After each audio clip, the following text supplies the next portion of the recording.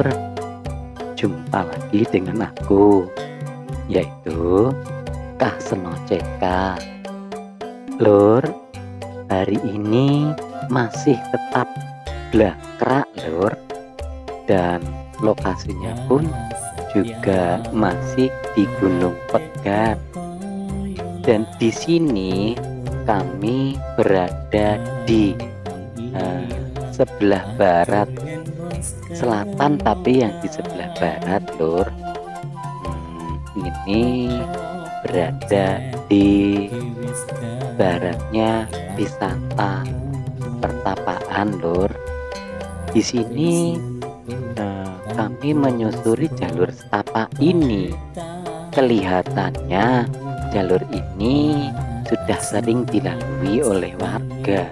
Tetapi aku masih baru kali ini lur menyusuri tempat ini. dan apabila kami lihat sekitarnya selain tumbuh-tumbuhannya yang indah udara yang sejuk hmm, di sini juga sangat nyaman loh lur. Bila digunakan untuk istirahat siang untuk eh, nongkrong-nongkrong itu sangat dan di sini kami akan mencoba terus uh, menyusuri jalur ini. Dan ternyata ya lur di sini jalur setapak ini banyak cabangnya. Jadi aku sempat bingung juga ke arah mana yang aku tuju. Ada yang sebelah uh, apa utara ada yang sebelah selatan dan pokoknya banyak dan yang lebih mengherankan lagi lur ternyata di sini itu aku mendengar ada sebuah motor yaitu motor mungkin buat olahraga atau komunitas. Hmm, apa ya? Uh, komunitas motor trek begitu lur. Jadi mungkin bisa jadi digunakan untuk menguji nyali mereka naik sepeda motor. Ini gunung lur berbahaya juga sebetulnya tetapi mungkin mereka sudah mempersiapkan segala sesuatunya. Jadi mereka yang bermain trek-trekan itu sudah siap akan resikonya. Nah, di sini lur banyak sekali uh, pohon bambunya atau bambu sangat banyak lur. Dan di sini belum terlalu tinggi juga, mungkin sekitar uh, 20-an meter dari uh, dataran yang di bawah. Nah, dari sini kami melihat jalur lur ini jalur yang digunakan untuk trek-trekan lur nah itu juga ada polis lainnya mungkin seandainya nah ini ini jalur untuk uh, ngetrek lur.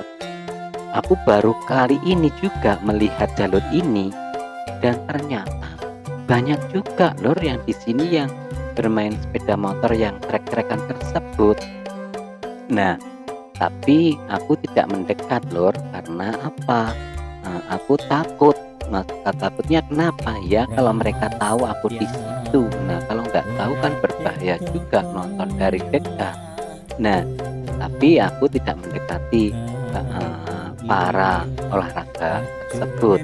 Nah dari sini mencoba terus menyusuri. Nah ini lur ada tali rafianya bisa jadi ini juga sebagai spot mereka untuk berolahraga.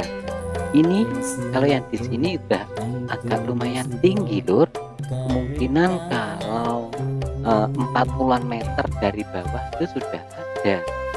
Nah dari sini kami mencoba terus menyusuri dan karena kami terus penasaran lur ternyata di sini lokasinya sangat luas. Uh, luas uh, tanam-tanamannya luas pohon-pohonannya seperti hutan. Nah karena di sini jalurnya juga banyak. Betul lur. Ini banyak jalurnya.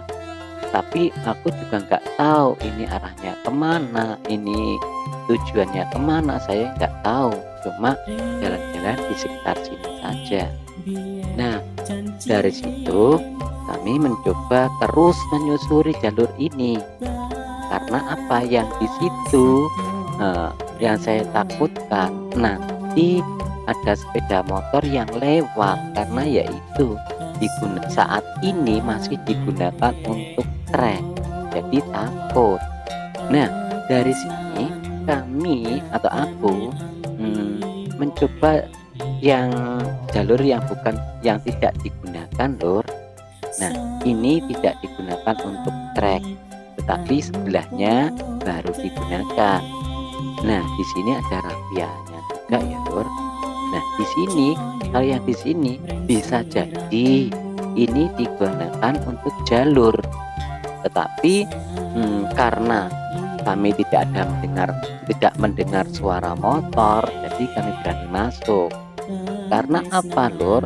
Sepeda motor yang digunakan trek itu kan suaranya sangat keras. Jadi seandainya sudah dekat, nah itu suaranya sudah terdengar dengan jelas tetapi dari sini kami belum mendengar jadi kami berani masuk. Nah dari situ kami terus mencoba melihat-lihat lor karena apa? Penasaran terus. Penasaran terus. Ada apa aja di sekitaran sini? Nah di sini lor kami sudah keluar dari jalur trek tersebut. Lah rencanaku lur uh, aku ingin nah ini kelihatan kan ada rafianya ini uh, sudah berada di luar jalur. Nah sini kami ingin mencoba terus lur menyusuri jalur yang di bawah lur. Nah yang di bawah ini itu ada apa?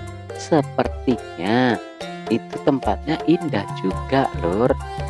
Nah dari sini kami melihat tanam-tanamannya yang sangat segar sangat hijau lur. Jadi eh, seandainya mungkin dari warga sekitar itu mencari rumput di sini itu juga sangat enak. Nah di sini eh, kami terus mencoba jalan-jalan menyusuri tempat ini. Nah akan tapi lur eh, per, kalau anda ke sini dulur-dulur mau uh, bermain ke gunung hati-hati ya lor karena apa? Di atas gunung itu ternyata banyak sekali tumbuh-tumbuhan yang berduri. Aku tadi sempat kena tetapi alhamdulillahnya tidak sampai terjadi apa-apa. Nah tumbuhan berduri ini lor eh, itu durinya sangat tajam. Kalau dirasakan itu seperti durinya salak ya, itu sangat tajam dan itu tumbuhan itu biasanya tumbuhnya di semak-semak jadi tidak terlihat. Aku tadi pun juga kena tapi eh, nggak aku sadari kalau di situ ada semak-semak. Jadi seandainya sedulur-sedulur mau uh, bermain berwisata ke gunung yang liar disarankan untuk memakai sepatu ya lur. Agar apa? Lebih aman. Aman dari duri kemudian aman dari lain-lainnya seperti binatang buas atau yang lainnya. Nah, dari sini lur, kami mencoba menyusuri jalur ini. Nah, di sini kami melihat eh, ada yang ke bawah lur. Nah, jadi itu seperti tebing atau apa ya, seperti sungai ya. Seperti sungai kelihatannya. Aku mencoba menyusuri jalur itu lur, tetapi kami kesulitan sebetulnya masih penasaran juga itu kok seperti ada sungai tapi sungai apa? Nah dari situ kami terus mencoba siapa tahu nanti aku bisa melihat uh, bisa uh, tahu akses untuk menuju ke sungai tersebut. Tetapi itu bukan sungai lur. Maksudnya kayak sungai tapi nggak ada airnya. Mungkin seandainya uh, turun hujan bisa jadi itu ada airnya sedulurku semuanya. Terima kasih ya Anda sudah menemaniku sampai di sini. Mudah-mudahan di lain waktu kita masih di bisa dipertemukan kembali. Terima kasih ya, Lur.